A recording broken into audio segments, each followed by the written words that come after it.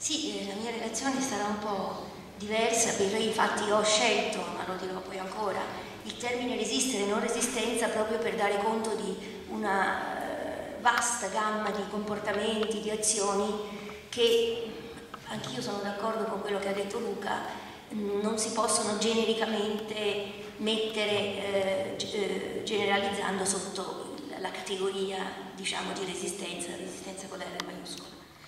Eh, però dico anche che eh, Luca giustamente ha detto che senza la lotta armata non ci sarebbero state le altre resistenze e nello stesso tempo bisogna dire senza le altre resistenze, quindi senza le disobbedienze, senza l'atteggiamento di, di una parte della popolazione e quindi anche di molte donne, non ci sarebbe stata probabilmente la resistenza armata.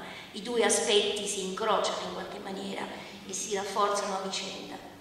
E, ecco, ma come sotto l'occupazione tedesca questo probabilmente tante donne non ce lo avrebbero detto nel dopoguerra eh, per tanti motivi eh, che poi ne accingo a parlare, cioè, lo potevano dire dei giovani, dei giovani che avevano vissuto l'esperienza della guerra come un'esperienza esaltante in qualche maniera in cui erano diventati protagonisti perché poi questo secondo me è anche il fatto eh, io anche tanti anni fa con gli studenti ho, abbiamo raccolto storie di soldati e alcuni di questi addirittura che pure erano stati prigionieri avevano fatto esperienze terribili però la guerra era un momento in cui eh, come dire ad esempio nelle prigionie poi dopo erano diventati dei protagonisti, si erano dati da fare, avevano cercato di scappare, avevano cercato di... insomma erano... e quindi la loro storia veniva raccontata in questa maniera. Quindi questo ovviamente bisogna sempre vedere che cosa significa. Più che mai la guerra comunque è luogo e quindi tema che si presta a una rigida divisione, o meglio una rigida visione di genere. Lo Stato-nazione d'altronde nasce si sviluppa su un'identificazione simbolica con gli uomini in armi. La cittadinanza si lega al servizio militare e la virtù della cittadinanza, come dice Gina Einstein bel libro Donne e guerra, di, già di un po' di anni fa, la, è la virtù civica armata. E le donne sono simbolicamente escluse dalla cittadinanza armata e in Italia sono i soldati, sono i combattenti che fondano il risorgimento, c'è la mitologia della prima guerra mondiale. Dopo la seconda guerra mondiale era molto più difficile, impossibile costruire il mito del soldato e quindi è stata la resistenza armata, i partigiani combattenti a fondare la Repubblica e a costruire il mito della nazione con tutte le contraddizioni che sappiamo, per carità. Quindi ancora gli uomini. La scelta dell'inno di Mameli è significativa, scelta fatta il 12 ottobre 1946, confermato nel, 2012, fratelli d'Italia, non sorelle, fratelli, maschi. Siamo pronti alla morte, l'Italia chiamò. Maschi armati, combattenti, nessuno ha detto niente su, su questa questione, forse qualcuno. Eh, è ripresa della sfilata in armi del 2 giugno. Anche qui nessuno disse niente. Rossana Rossana scrisse un articolo contro la ripresa della sfilata del 2 giugno che significa che la nazione si identifica gli uomini in armi poi che ci mettano qualche soldatessa ha poca importanza, il problema è quello. E non c'è nessuna capacità di, di, capire che cosa sono i simboli, di, di fare un'analisi di questi aspetti simbolici. Questa visione ha oscurato il contributo delle donne anche alla resistenza armata, perché appunto poi ne parlerò, ci sono state, ma ha anche emarginato come irrilevante il loro ruolo per la sopravvivenza della vita civile, della vita comunitaria durante la guerra. E mentre una visione di genere eh, della guerra ci permette di vedere aspetti sconosciuti, a volte contraddittori anche della guerra, ci permette di, di costruire rappresentazioni stereotipate, radicate nel tempo, nell'opinione comune, scomporre coppie dicotomiche, amico-nemico, bene-male, eccetera. La storiografia su donne e guerra ha spesso, proprio legandomi a queste cose che ho detto, sottolineato il silenzio, l'oblio sulle donne nella guerra. Infatti, cito qualche titolo, Bruzzone Farina 1976, La resistenza taciuta, eh, numero di Clio 1995, Silencieuse et oubliée, 2001, numero di Autrement, Les oubliés de la guerre, eh, 2008, libro sulle donne e la resistenza in montagna, curata da Ersilia, Ersilia Alessandrone Perona, la presenza, la presenza invisibile, donne, guerra, montagna. Quindi come vedete questo appunto, è stato già un leitmotiv degli studi sulle, delle donne sulle donne in guerra.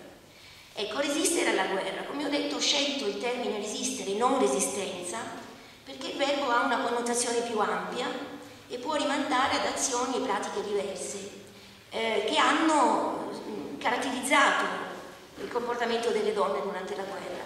Un diffuso rifiuto della guerra che si estrinseca in modi diversi a seconda dei luoghi e dei contesti della guerra stessa. Sono molto d'accordo, la guerra in Italia è stata, noi bisogna studiare una geografia della guerra, a seconda dei contesti la popolazione si è trovata di fronte a, a questioni, a scelte diverse e quindi ha agito in maniera diversa. Il fronte, le battaglie, i bombardamenti, le violenze naziste si sono diversificate eh, sul nostro territorio. Quindi eh, un, un, un, diffuso rifiuto, ma anche il tentativo di salvare, di preservare l'organizzazione della vita quotidiana, dei rapporti familiari e comunitari. Una pratica che possiamo anche definire, forse meglio, con la categoria della resilienza, una categoria utilizzata per studiare la risposta delle comunità alle catastrofi e all'emergenza, che indica la capacità adattiva di affrontare appunto le catastrofi salvando i legami comunitari. E anche in questo caso, ci sono parecchi studi su questo, è stato notato come siano spesso le donne a fornire la tela, la rete di sostegno eh, che permette la ricostruzione sociale, psicologica e materiale della vita.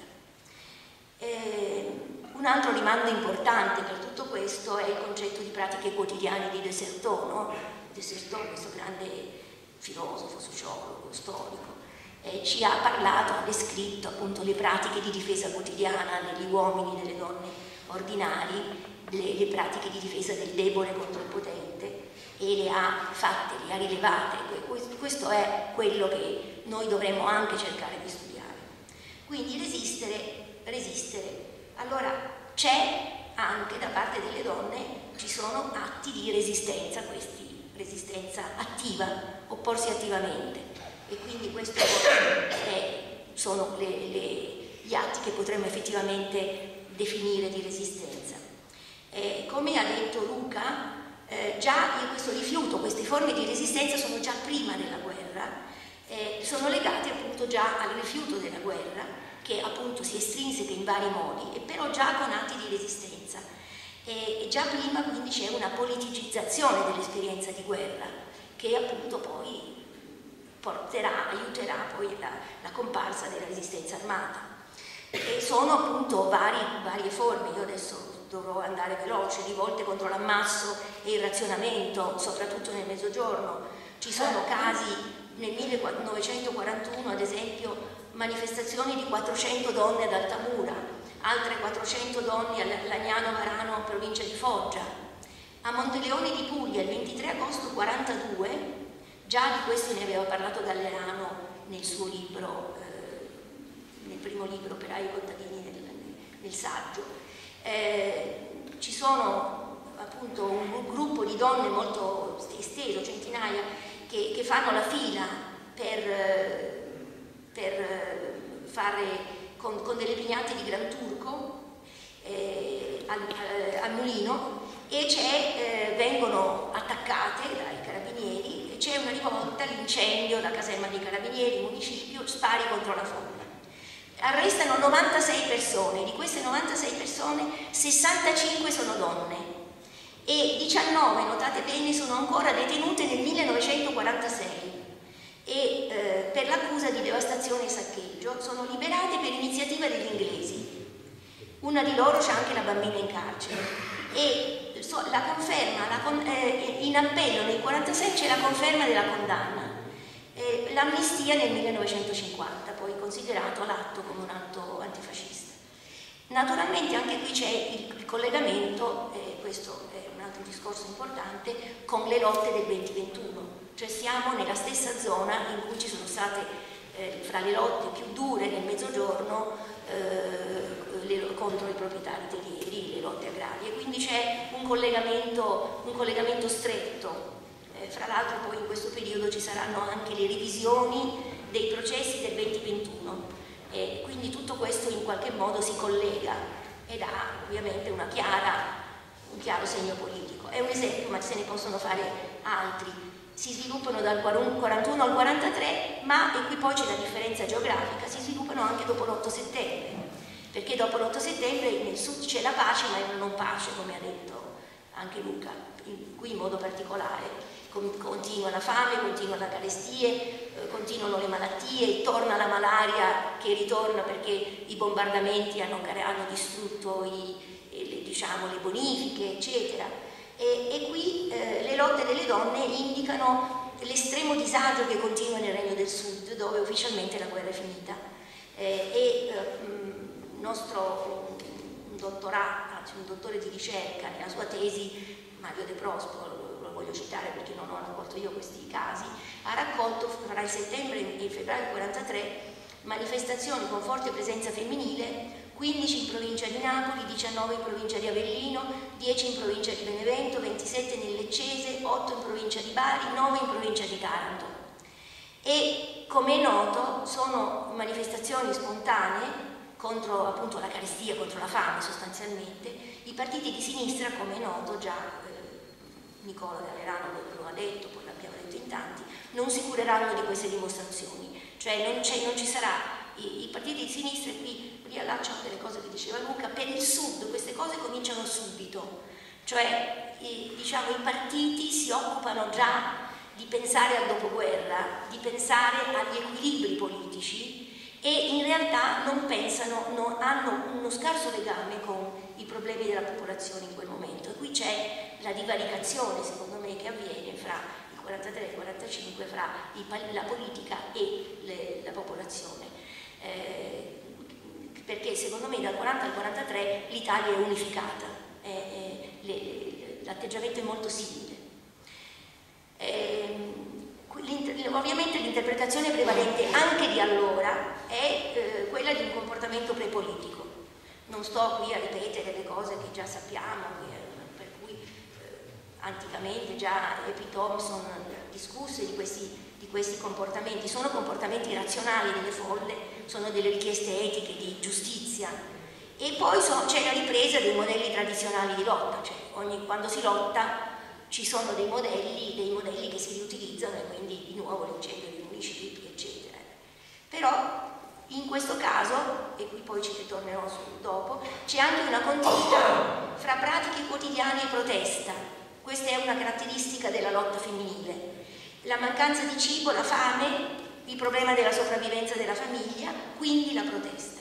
È una resistenza che, che prolunga le pratiche quotidiane ordinarie, eh, c'è una continuità tra vissuto delle donne e l'orazione. Questo Jean-Marie Guillaume eh, ha detto questo in un saggio sulle ménagères eh, in Francia.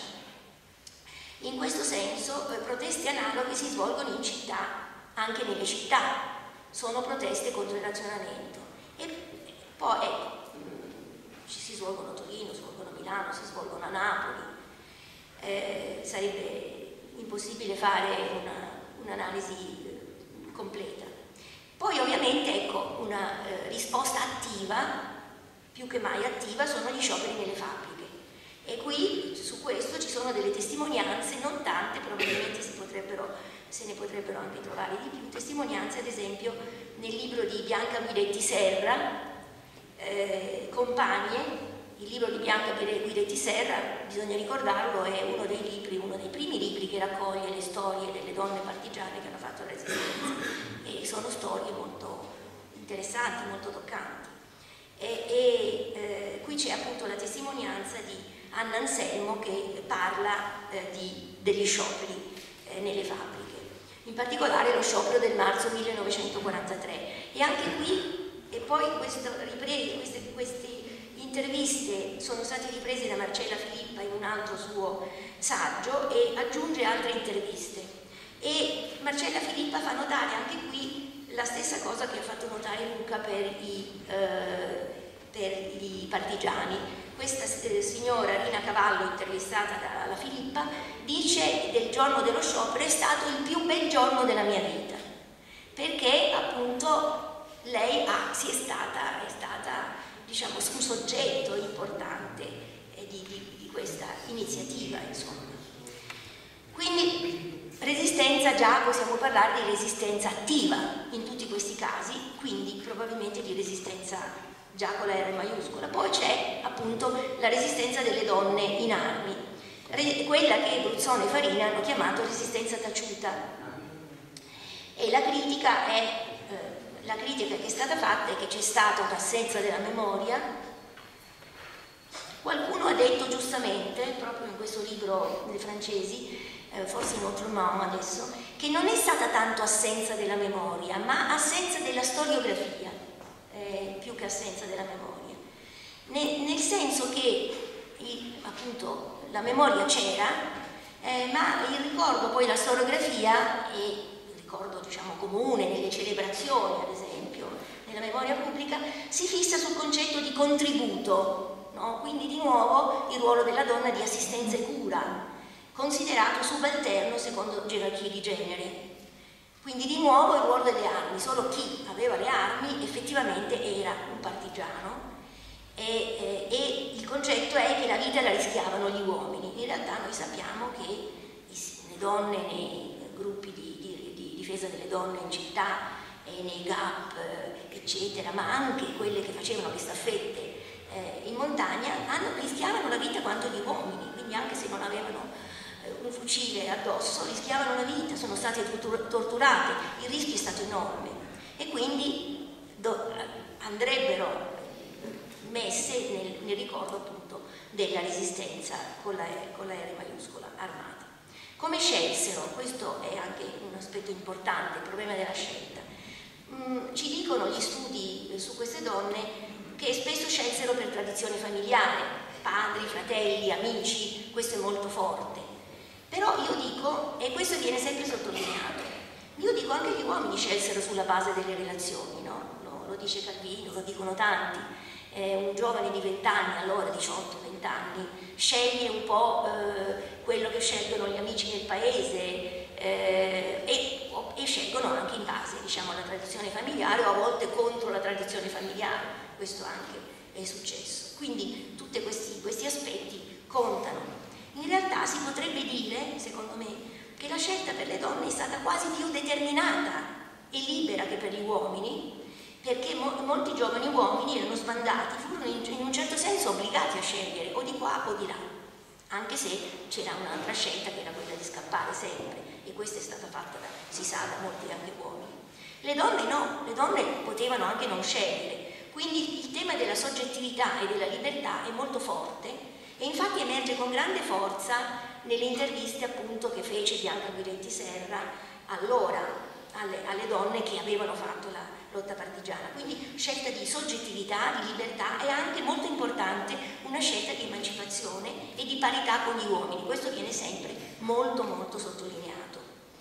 Eh, bisogna anche dire, che anche su quello ci sono stati degli scritti, che anche le donne che hanno aderito alla Repubblica di Salò, anche loro hanno fatto una scelta di questo tipo, combattere parità con gli uomini, eccetera, ma su questo ovviamente non rientra nel nostro discorso. Su questo tema ci sono già molti lavori, appunto libri più noti antichi, Guidetti Sera, Ruzzone Farina, ma anche dopo tanti contributi su casi locali e regionali, sull'Emilia Romagna, in Donne, Guerra e Politica, eh, sulle donne del Treviso, insomma ci sono tanti studi locali che eh, forse andrebbero una volta rivisti tutti insieme e, e se ne potrebbe lavorare, insomma fare qualche cosa di comune.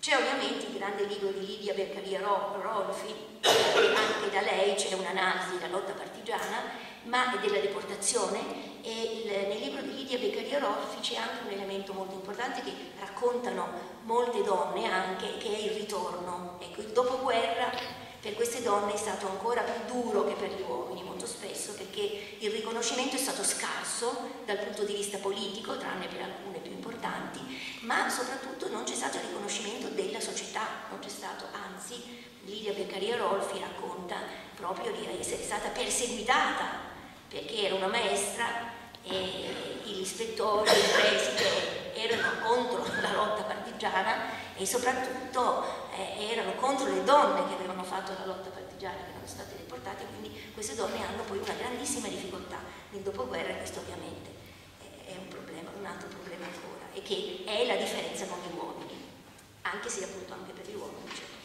E Anna Bravo nella nuova che differenza c'è nel loro racconto e che differenza c'è stata nella loro storia con resistenza degli uomini? Anna Bravo nella nuova introduzione all'esistenza taciuta eh, ci dice che eh, loro esprimono un'ideologia più debole, una capacità di distinguere mm, di più degli uomini caso per caso, di affrontare il problema della responsabilità in relazione alle azioni armate.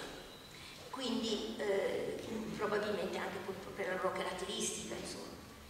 Eh, ovviamente bisogna ricordare ancora il contributo di Anna Bravo nel libro Resistenza senza armi e qui ci parla appunto di resistenza civile eh, maternage di massa, anche qui potremmo parlare forse già, anche in questo caso, di una sorta di resistenza, anche se anche qui bisognerebbe eh, discutere. Eh, le donne ovviamente gli uomini erano lontani, quindi le donne hanno avuto un ruolo di prima fila nel nascondere gli uomini, nell'aiutare gli uomini, qui è stato un atto diciamo antico, e collegato, collegato alla loro, in fondo alla vita quotidiana, collegato alle, alla, alle storie della vita quotidiana. Quindi, come dire, pratiche che dalla vita quotidiana si trasferiscono nel, nella lotta. E, ecco, direi da questo punto di vista il ruolo delle donne nell'insurrezione di Napoli si, si, può leggere proprio anche attraverso questa, questo prisma, questo, questa eh, categoria. Eh, hanno avuto un ruolo molto grosso nell'insurrezione, sono morte tante, eh, noi abbiamo gli elenchi diciamo, anagrafici eh, che io ho ripercorso, ci sono molte donne morte, voi mi direte, non, non, probabilmente non combattevano, sì, però potevano stare chiuse in casa non gli sarebbe successo niente, vuol dire che erano per strada. Erano per strada, facevano qualcosa ed è proprio il legame con la sfera quotidiana, con la sfera domestica, la caratteristica dell'insurrezione di Napoli che quella, me, rimane questo, questo è, è, di essere stata legata al territorio in maniera molto forte, non c'era ancora la lotta partigiana e quindi la lotta avviene nei vicoli, avviene nei, nei, quartieri, anche se è organizzata, ci sono i soldati, appunto adesso non, potrei, non, non voglio entrare in questa discussione che è annosa, eh, ma è, è, una lotta armata, eh, ci sono appunto soldati sbandati, eccetera, ma il, il contributo del vicinato è stato un contributo fondamentale, quindi il contributo delle donne. Quindi anche qui, come vedete, questa trasposizione della pratica quotidiana, della vita quotidiana, dello spazio femminile anche nella lotta armata. E qui c'è un altro caso che bisogna citare, eh, che ovviamente è controverso, difficile, ed è il caso della resistenza all'arruolamento nel sud. Eh, la lotta dei non si parte, di cui ha parlato, scritto Forcella e ha parlato anche Claudio Pavone.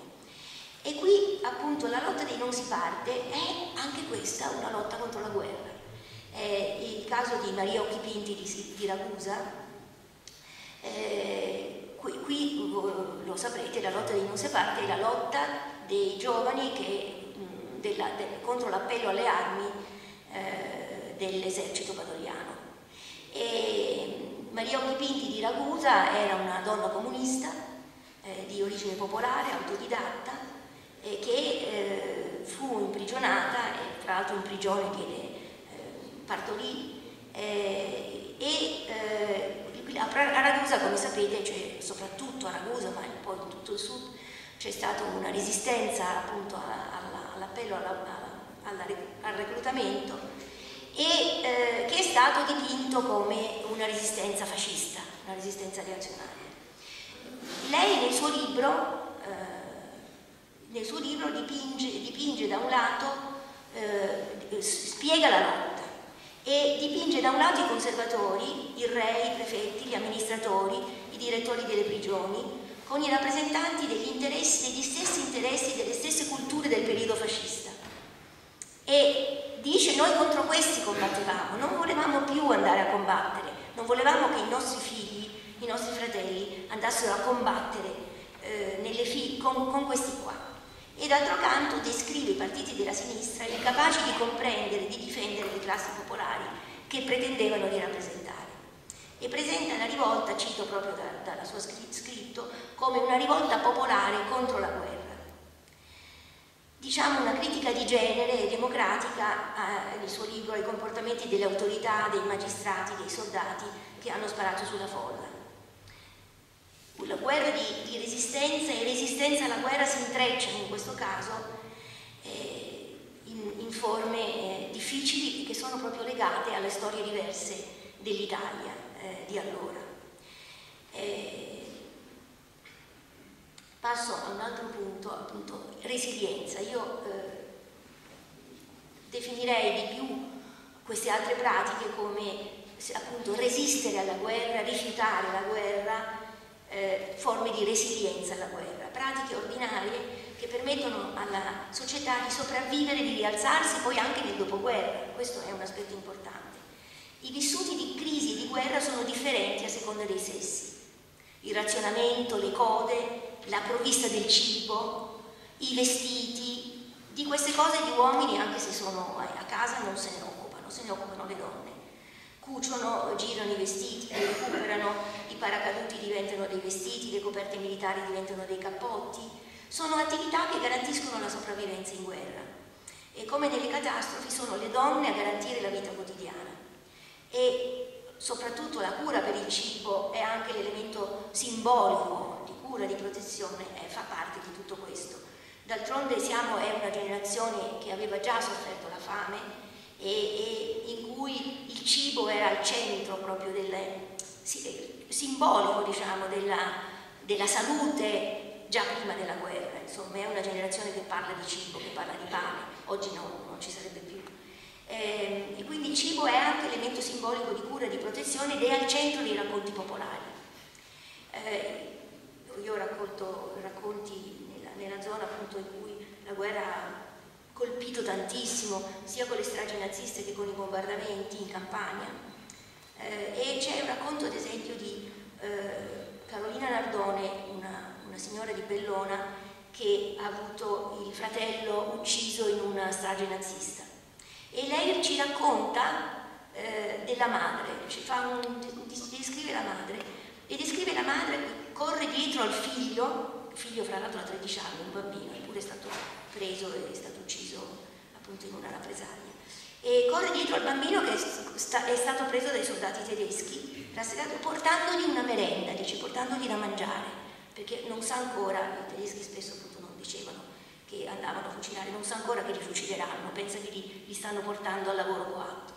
E, e, poi ci racconta ancora questa signora che la madre, siccome poi questa, questa popolazione è stata evacuata la strage è avvenuta quando già erano evacuati e la madre non sa che il figlio è stato eh. ucciso e quindi torna di nascosto nel paese sempre portando dei panini, delle merende e grida Valentino, Valentino e Valentino è già stato ucciso. Quindi c'è questa descrizione di madre e che, vabbè, le madri tornano sempre, però è questa descrizione concreta che colpisce.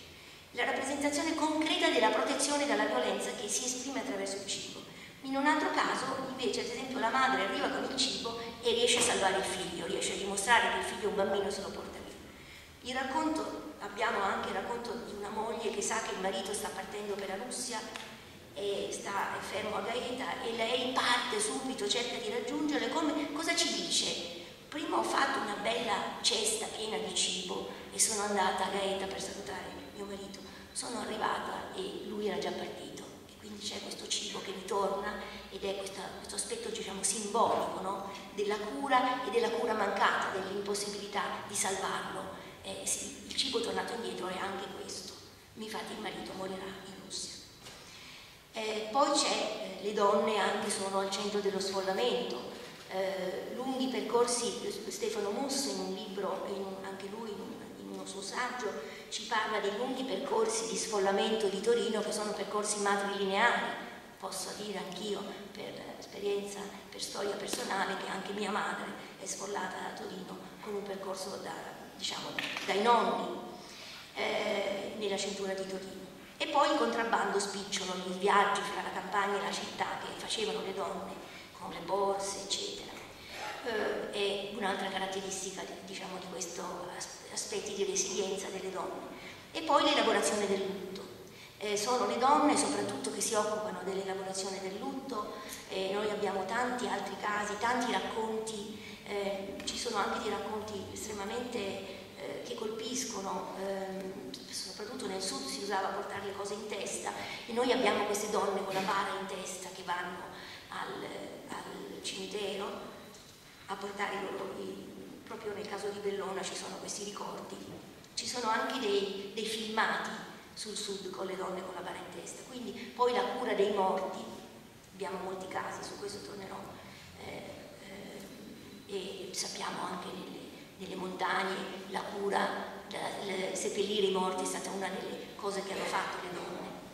Ehm, quindi Luisa Passerini eh, ci ha scritto, eh, ehm, ah, scusate, ancora volevo citarvi, eh, dimenticavo, c'è un film eh, da questo punto di vista molto bello sulla Germania, non so se l'avete visto, del 1980, il film si chiama Germania pallida madre e mette proprio in luce l'esperienza della donna della guerra mette, mettendo in discussione proprio la separazione fra sfera pubblica e sfera privata. C'è questa donna con una figlia che eh, si aggira in questa lotta diciamo, per la sopravvivenza in questa Germania desolata e poi il, il titolo del, del, libro su cui ritorno è eh, il titolo di una poesia di Brecht e quindi c'è l'idea della Germania madre che è stata vilipesa dal nazismo, ma su questo torno. E, lì, e anche lì appunto c'è l'esperienza delle donne in guerra e, e questa eh, separazione fra sfera pubblica e sfera privata che hanno costruito diciamo, gli uomini e che queste donne devono rimettere insieme in maniera molto difficile, questo lo, lo si vedrà al ritorno del marito dalla guerra. Luisa Passerini ha detto eh, eh, l'azione e il ruolo delle donne si collocano in uno spazio intermedio fra la straordinarietà del momento storico e la dimensione quotidiana. Questo è proprio uno, uno degli aspetti eh, dell'esistenza eh, fra spazio domestico e, spa, e, spazio, e spazio, pubblico della, della, lotta armata come della manifestazione. Donne sono in una sorta di posizione di frontiera e nella seconda guerra mondiale sappiamo cade la distinzione fra fronte interno e fronte esterno, ma cade anche la distinzione fra vita quotidiana e straordinarietà della vita in guerra, tra privato e pubblico. E quindi le donne in questo modo sono quelle che di più incarnano questo, questo incrocio, diciamo questi due, questi due confini. Eh, possiamo ricordare anche la distinzione di Todorov fra virtù eroiche e virtù domestiche, ecco le donne mettono in piedi, mettono in piazza le, le virtù domestiche. Più degli uomini proprio per questo legame possono mantenere anche il legame con la realtà, slegato dalle ideologie, quindi questo eh, rapporto con la responsabilità, diciamo. Da questo punto di vista io ho sempre rifiutato la categoria di zona grigia, non, non so se esiste la zona grigia, esiste una, una società molto complessa, eh, c'è chi fa bene, c'è chi fa male, c'è chi eh, attua dei, dei, comportamenti molto diversificati e questo penso che si debba fare senza parlare di zona grigia. Eh, in memoria del male, tentazione del bene, Todorov nel capitolo su Grossman, vita, Grossman autore di Vita e Destino, eh, ci dice questo mi sembra che funzioni per. I giusti non cercano il bene, ma praticano la bontà, aiutano un ferito anche se è un nemico, nascondono gli ebrei perseguitati, recapitano la lettera dei detenuti. Una scena di vita e destino ne illustra la comparsa. Una donna russa tende un pezzo di pane al prigioniero tedesco, mentre egli si aspetta di venire linciato. Questa bontà si incarna in modo emblematico nell'amore materno. Mm, ah, c'è un caso nel sud eh, molto famoso, forse anche molto enfatizzato però, e che è quello di Mamma Lucia. Mamma Lucia, così chiamata, eh, era una do donna di Cava dei Tirreni, quindi Cava dei Tirreni è proprio davanti allo sbarco di Salerno, questa è la zona che è stata bombardata, c'è stata una grande battaglia ovviamente fra tedeschi e alleati, bombardata, distrutta, eccetera. E eh, lavorando nei campi subito dopo il 43 scopre, lavorando, scopre, eh, comincia a scoprire tanti corpi di, di soldati e comincia a dare sepoltura a questi soldati, di tutti i tipi, soldati tedeschi, soldati alleati, ma soprattutto sempre sono in maggioranza soldati tedeschi, più di 700 soldati. E eh, è stato, eh, diciamo, enfatizzato il suo ruolo di madre perché l'ha fatto lei, le, gli hanno chiesto perché hai fatto questo, lei ha detto sono tutti figli di mamma e eh, qui in realtà qui, lei ha avuto una medaglia da, dalla Germania per questo, eh, una medaglia anche dall'Italia ed è stata sepolta nella chiesa dove lei portava a Cava dei Tirreni questi soldati e accanto a un ignoto, accanto a, al corpo di un soldato ignoto. Allora, che dico, madri, retorica certamente, certamente, ma c'è anche un ruolo, diciamo, positivo, è anche un mito positivo. Ultimamente ho presentato un libro sul caso argentino, Todo cambia, di Gennaro Carotenuto, e eh, mi ha colpito eh, questo. Eh, Gennaro Carotenuto cita eh, un altro libro di Elisabeth Mayer, eh, in cui si dice che la madre del desaparecido è diventata un nuovo mito fondativo dell'America Latina attuale. Quindi c'è la legittimazione della madre come portatrice del diritto alla verità e alla giustizia. Da vittime private diventano soggetti politici.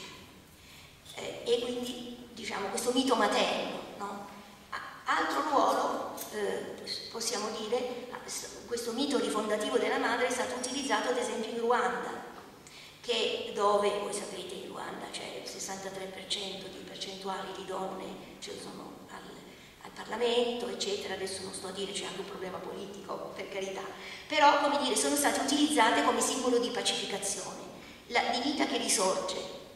È chiaro, le donne possono anche aver agito alla violenza, sono presenti nei linciaggi, anche questo bisognerebbe studiare, sono presenti nella rappatura delle collaborazioniste, sono presenti nelle delazioni, quindi non è... parliamo di miti, parliamo di miti. Quindi l'uso però del mito materno contro la violenza. Invece del nome del padre, io dico, tornando alla Germania parli da madre, potremmo parlare in nome della madre. E infatti nella Germania parli da madre, si sceglie Heimat, e la terra madre, e non eh, Vaterland, eh, è perché la terra madre disonorata e resa vittima da padri e figli scellerati. La restaurazione dell'autorità maschile, infatti il marito che torna dalla guerra, esprime la restaurazione dell'autorità dell maschile ed è di nuovo violenza. Ma per carità, mito, parlo sempre di miti, miti ma in nome della madre, un'immagine non paterna ma materna della nazione, eh, direi io la difendo e mi piacerebbe che il nostro inno non fosse Fratelli d'Italia.